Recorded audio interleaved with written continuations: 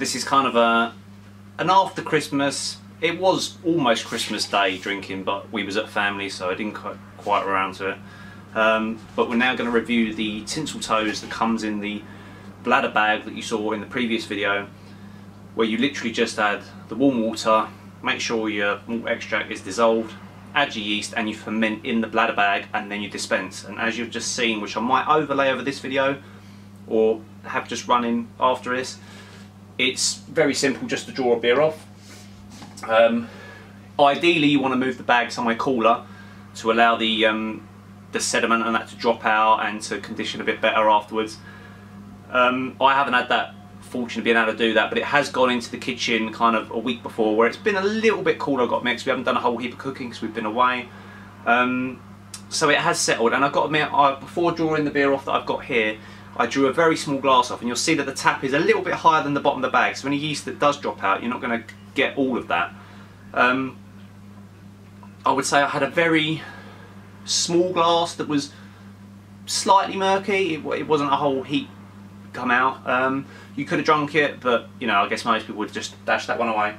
And in terms of clarity for this one, as always, it looks quite, but you can kind of see my hand passing behind that. But if I'm honest, it's it has a, a very slight haze to it, but given if this was put somewhere a little bit cooler, like if you had the garage that's on the side of your house, or you could put it somewhere a bit cooler before you dispense, I can imagine, like the, the Muntons video that's available on the internet, which I'll link to, it will be crystal clear. And I think that the fact that it's been made in a bag, dispensed in a bag, it's that's pretty good going, I think. Um, I've got a very small cap on it. I've used a widgeted glass. Um, you're not going to expect a overly kind of carbonated beer. You're going for kind of like your, your cask ale type things. So don't be expecting, you know, that kind of fizzy and gassiness. But let's dive in.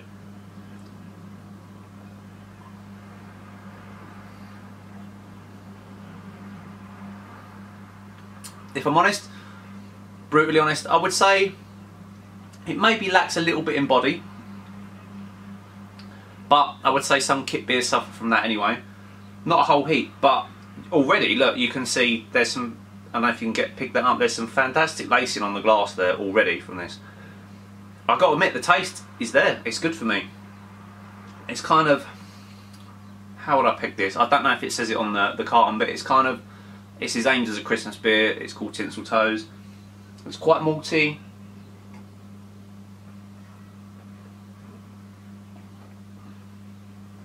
There's a little bit of back end sweetness to it.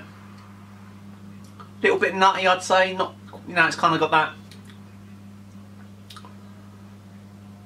Yeah, and a mild kind of where the sweetness is a little bit fruitcakey, but not, you know, over the top. But I would say it's a very sessionable beer. I think it's comes out where is the percentage? 4.2%. Um, I don't know if they give you a tasting thing I need to say what it is. Oh, the funny enough, they do say actually a dark ruby beer with sweet fruit flavours and hints of Christmas pudding. So, there you go.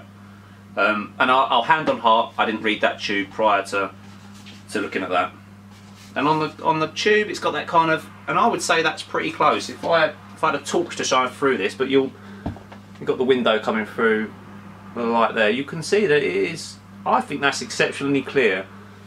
And considering that I haven't given it the best that it could have, having that, that much cooler settling, this would this would clear down totally. And I think you'd be hard pushed to know if you was you know you went to the garage and you got someone a, a, glass of this and you told them that you know a few weeks ago prior to Christmas that this was made in a bag and then dispensed from a bag.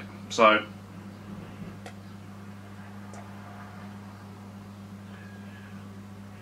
yeah, I'm pretty happy with that. And what is quite exciting is the, the Woodforde's Wherry also comes in this tube. Now, when I first started home brewing, these things weren't available. You you kind of invested in the the full kit, um, like a fermenting bucket, a pressure barrel, and whilst they are still great value for getting into the hobby, if you're kind of you know you're not quite sure if you want to get into home brewing or not, and you know you want to have a taste of it, I know people would argue that these at a price point you could buy a kit spend a bit more and get a bucket and you're only getting 25 pints from this. But with that said, if you don't want to, I mean, I spoke to a few people that are oh, what do I need to get into home brewing? And and they're unsure about buying this extra equipment, you get everything you need in this tube.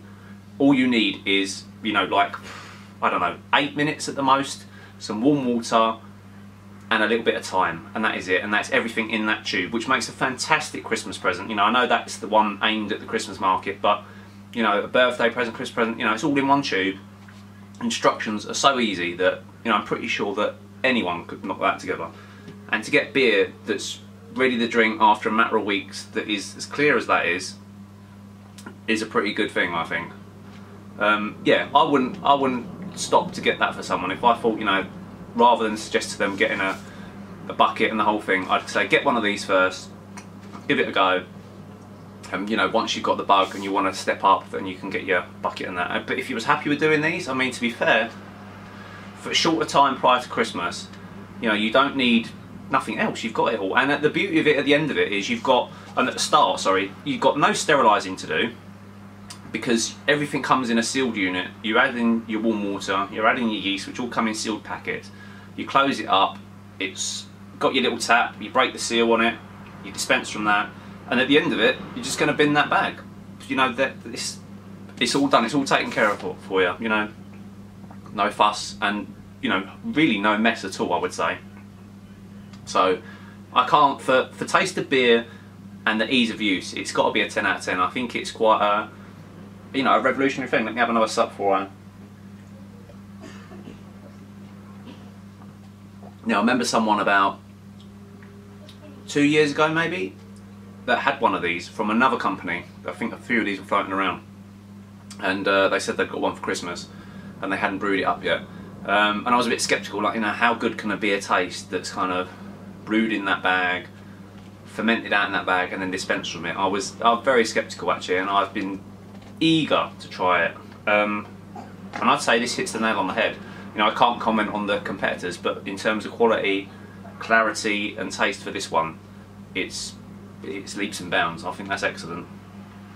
Yeah, I think this is your this is now the you know the Woodforde's Wherry the the two can kit used to come with a bucket, and that was the gateway for people getting home brewing.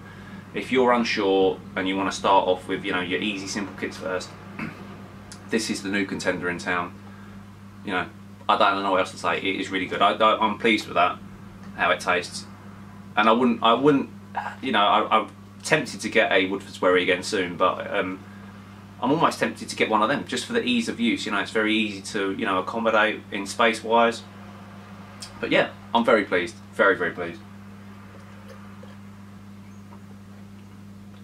And it is only the day after Boxing Day, and I've got probably 24 and a bit, or probably less actually, probably 23 pints. I did have a sneaky, sneaky little taste of the the, the murky one.